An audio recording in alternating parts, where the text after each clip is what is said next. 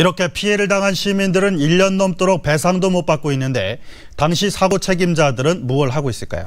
단수 책임으로 징계받은 공무원들이 억울하다며 소송을 진행 중인 것으로 확인됐습니다. 이어서 정재영 기자입니다.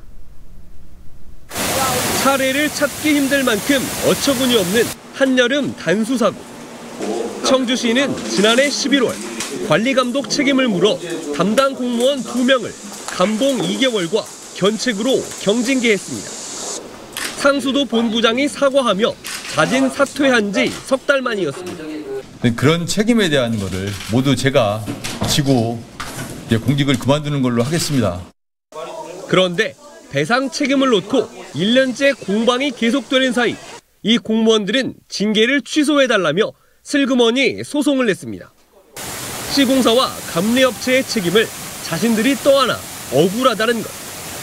실질적인 그, 그 어떤 사고에 대한 책임은 감리나 어떤 시공사에서 있는 부분임에도 불구하고 기술적인 감독을 소홀하다가 그 징계를 처분한 건 전 좀 부당하다.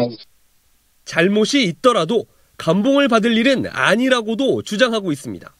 음, 담당자보다 크게 했으니까 그 부분이 제 입장에서는 경감 차원에서 진행을 한 것입니다. 제가 이제 제일 크게 맞았으니까요. 좀 억울한 입장인 것이죠. 피해 주민들은 분통이 터집니다. 잊혀져 갈 만 하니까 그 공무원들이 책임을 면하기 위해서 법원에 소송을 제기했다고 하는 거에 대해서는 어, 이건 책임 있는 공무원의 자세가 아니라고 생각을 합니다. 청주시는 적정한 징계였다는 입장. 피해 배상이 시작도 되기 전에 담당 공무원들이 낸 징계 취소 소송을 바라보는 시민들의 시선은 곱지 않습니다. MBC 뉴스 정재영입니다.